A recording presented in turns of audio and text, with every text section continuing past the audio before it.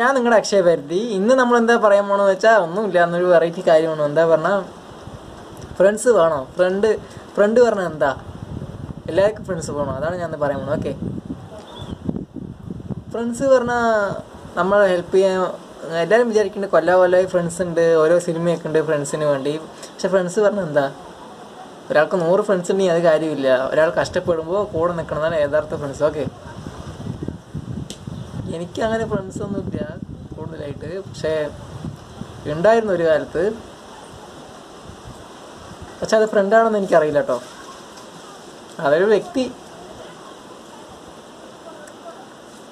നിങ്ങൾ എങ്ങനെയാ യഥാർത്ഥ ഫ്രണ്ട് കണ്ടുപിടിക്കുക പറഞ്ഞാൽ നിങ്ങൾ സങ്കടം ഇരിക്കുമ്പോഴോ അഥവാ കരയ കരയ കരഞ്ഞുകൊണ്ടിരിക്കുമ്പോഴോ ഇല്ലെങ്കിൽ എന്തെങ്കിലും കഷ്ടമുള്ള സിറ്റുവേഷൻ ഉണ്ടെങ്കിൽ അപ്പോൾ യഥാർത്ഥ ഫ്രണ്ട്സ് അപ്പം ഉണ്ടാവും കൂടെ. അതാണ് അപ്പോൾ ആരാണോ നിങ്ങളുടെ കൂടെ നിന്നിട്ട് നിങ്ങളുടെ കൈ പിടിച്ച് നിങ്ങളെ സഹായിക്കുന്നത്. അതാണ് യഥാർത്ഥ ഫ്രണ്ട് ഓക്കെ പിന്നെ നിങ്ങളുടെ നിങ്ങളെ കളിയാക്കാത്ത ഒരു ഫ്രണ്ട് നിങ്ങളെ മറ്റുള്ളവർ മുമ്പ് നിങ്ങളെ താഴ്ത്താത്ത അതാണ് ഒരു യഥാർത്ഥ ഫ്രണ്ട്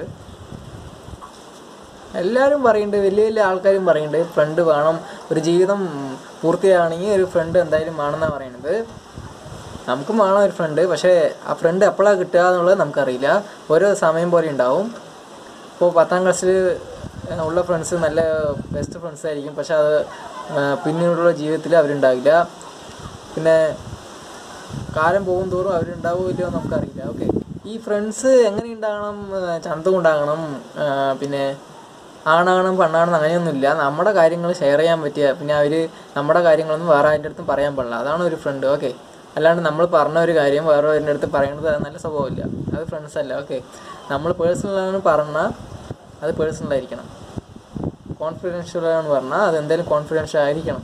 അതാണ് ഒരു യഥാർത്ഥ ഫ്രണ്ട് ഓക്കെ കുറേ അഫേഴ്സ് അങ്ങനെ ബ്രേക്കപ്പ് ആകുന്നുണ്ട് എന്താ പറഞ്ഞാൽ നമ്മളൊരു കാര്യം പറഞ്ഞിട്ട് അത് പറയേണ്ട ഒരാളടുത്ത് പറയേണ്ട പറഞ്ഞാൽ അവർ അത് പോയി പറയും.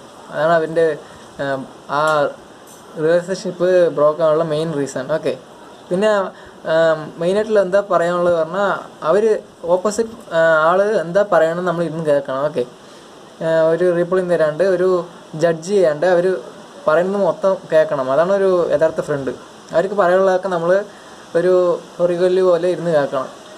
അതാണ് ഒരു ഹ്യൂമാനിറ്റി നേച്ചർ എല്ലാവരും കേട്ടൊന്നുമില്ല ചിലവർ ഇടയിൽ കയറി എന്തെങ്കിലുമൊക്കെ പറയും. അപ്പോൾ നമ്മൾ ചെയ്യാണ്ടിരിക്കുക ഓക്കെ അപ്പോൾ ഇന്ന് ഞാൻ പറഞ്ഞു എങ്ങനെയാണ് ഒരു യഥാർത്ഥ ഫ്രണ്ടിനെ നമ്മൾ എങ്ങനെ കണ്ടുപിടിക്കുക എന്ന് ഞാൻ പറഞ്ഞു. എങ്ങനെയാ പറഞ്ഞാൽ നിങ്ങൾക്ക് എപ്പോഴെങ്കിലും ഒരു കരയണ ഒരു സിറ്റുവേഷൻ വന്നാലോ എപ്പോഴെങ്കിലും ഒറ്റപ്പെട്ട സിറ്റുവേഷൻ വന്നാലോ അപ്പോൾ നിങ്ങളുടെ കൂടെ ഉണ്ടാവും യഥാർത്ഥ ഫ്രണ്ട് നിങ്ങൾ ആരും പഠിക്കണ്ട നിങ്ങൾ എപ്പോഴെങ്കിലും ഒറ്റപ്പെട്ടു എന്നൊരു ഫീലിംഗ് ഉണ്ടെങ്കിൽ അവിടെ ഞാൻ ഉണ്ടാവും ഓക്കെ എന്നെ ഒരു ഫ്രണ്ടായി കണ്ടാൽ മതി. എന്റെ എന്നെ ഒരു ഫ്രണ്ടായിട്ടോ അനിയനായിട്ടോ മകനായിട്ടോ ആരുമായിട്ടും കാണാം.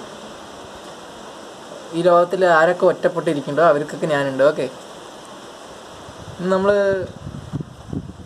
ഒരു ഫ്രണ്ട്ഷിപ്പ് എന്താണെന്ന് നോക്കി. നാളത്തെ വീഡിയോ കാണാം. Okay thank you and bye